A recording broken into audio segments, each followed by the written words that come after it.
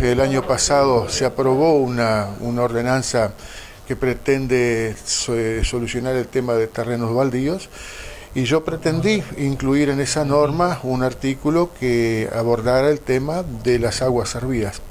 Se me contestó de manera muy pertinente que ya existe en nuestro departamento una norma en ese sentido. Sin embargo, a pesar de que la norma efectivamente existe, todos somos testigos que por las calles de los barrios de la capital y de las villas, las aguas servidas corren libremente. Entonces, yo me pregunto, ¿de qué sirve que sancionemos normas si luego no hay el espíritu de hacerlas cumplir?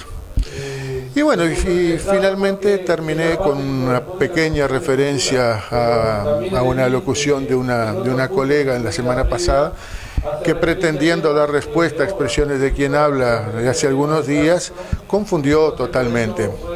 Creyó que yo me refería a expresiones del señor Gustavo Licandro, cuando en realidad yo me estaba refiriendo a expresiones del propio precandidato Luis Alberto Lacalle Pou, cuando hablaba de flexibilizar los consejos de salarios y citaba algunos ejemplos que a mi entender eran nefastos. Pero como dije también asimismo, como decía don Pepe Valle y Ordóñez, quien se precipita, se precipita. Y creo que fue lo que ocurrió con, la, con esta edil.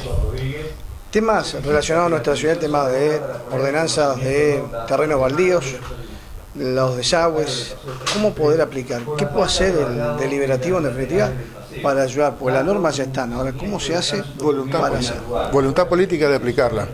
El tema es que cuando uno consulta sobre este tema del por qué la no aplicación, dice, bueno, la pertinencia o no, cosa que no se va a decir jamás en público, pero jamás se va a admitir que en público que eso tiene un costo político, por supuesto. ¿no? O sea, la norma fue hecha, las normas son hechas con un espíritu muy constructivo.